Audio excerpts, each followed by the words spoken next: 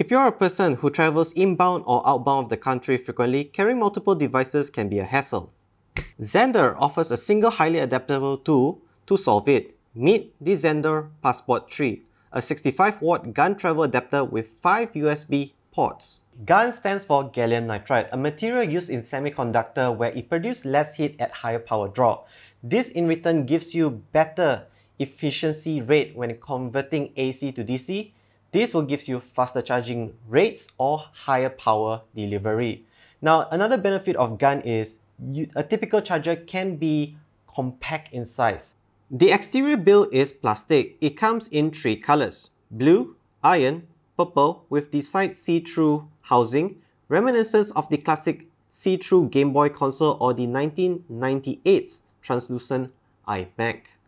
Now looking at the top view right here, the plastic surface can be prone to metal prong scratches over time due to its semi-glossy finish surface right here. Now looking at the left view right here, this is where you can slide out the necessary prongs to use them. You have to press and push it. It's very smooth and it clicks into position well. One thing to note, it also comes color-coded with the bottom being darker, progressively come lighter to the top. Now looking at the bottom right here, when I put out the prongs, it is very solid feel. It feels uh, less shaky shaky bits, no shaky shaky bits. It feels firm and solid, typical for a premium product like Zendure. Now looking at these prongs right here, I'll come a little bit closer. You can actually bend them inwards or outwards to match the country port that you're using in. So it's very adaptable for this last port right here. Again, let's jump back to the main juice of this charger right here on the right side. This is where you see the main GaN charger unit capable of 65 watt power delivery output, good to power devices like your Apple Silicon MacBooks, like the M1s and hopefully the future M2s and M3s that come in the way, way future, or any USB 4, Thunderbolt 3, or Thunderbolt 4 Windows-based devices. However, this port right here drops to 45 watts when either one or more of the front ports right here is used. So these four bottom ports right here will share 15 watts among them.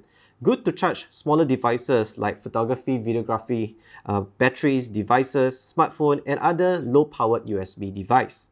Here is a quick summary of each port's voltage, amperage, and wattage. Also, you can see the Passport 3 branding right here on the slider bit. The outlet here supports 1000 watts at 100 volts or 2500 watts at 250 volts with a maximum of 10 amps.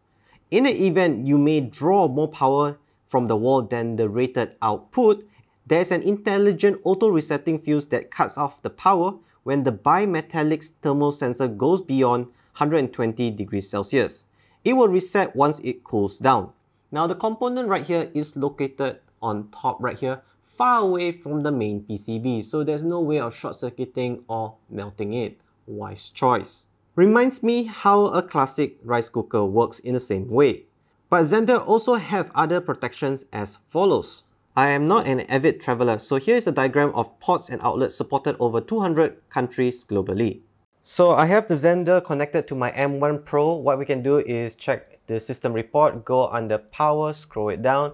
We can see that it does take 65 watts charging. It's pulling around 70 watts from the wall. Alright, it's showing that it takes 2 hours and 30 minutes till it's fully charged from the 20% to 100%. Alright, to activate the 45 watt side right here, what I need to do is attach a single device, which is just a Type-C right here, my phone. Just change the function back to this right here. Alright, so it's connected to my phone. Now we go to the system report. It should show us that it is going to be 45 watts. And yep, in the system report right here, it shows 45 watts. So at 45 watts charging, definitely it increased the charging time by 20 minutes average. So let me give you a summary of the Zendure Passport 3. This is the best travel adapter with 5-port USB with 65 watt GaN technology. Amazing. Now, I wish to see a 100 or 120 watts version of this.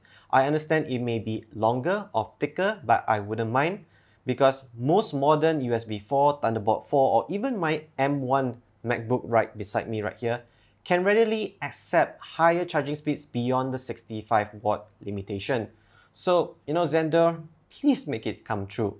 Now, aside from that, the design language, I like the sides, but the front here, I wish it was matte finish. That is my personal preference, but I see a lot of people are welcoming this type of um, glossy uh, texture, glossy rainbow finish, I guess, or shiny finish.